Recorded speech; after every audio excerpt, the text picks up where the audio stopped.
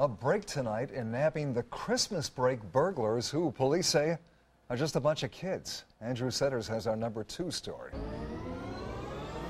People in this neighborhood still a little on edge, but they're fighting back after police arrested the underage Christmas break bandits that were breaking into their homes. Uh, I didn't sleep for a couple days. Tammy Trantham's home was targeted by the kids who were burglarizing their neighbors a few weeks ago. The first day of Christmas break, Christmas Eve, Christmas Day, and New Year's Eve, these thieves were out looking for targets. They'd knock on people's doors to see if anyone was home. And if they saw that somebody wasn't home, they decided to, to break in. And these seven thieves between the ages of 12 and 16 made off with a pile of loot. Stealing electronics and jewelries, watches, video game systems uh, laptop, computer, that kind of stuff.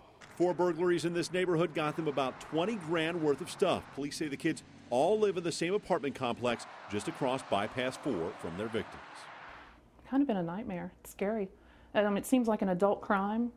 It seems like an invasion. But this mini crime spree has had another effect. Tammy and her husband are starting a neighborhood watch now with a meeting next week to rally people together and fight the fear. I'm normally not afraid. You know, it makes my heart beat fast now. It was so fast. They meant to harm, and it shouldn't be happening here. You can find out more about that upcoming neighborhood watch meeting at our website, WLWT.com, along with tips about how you can keep thieves away from your home.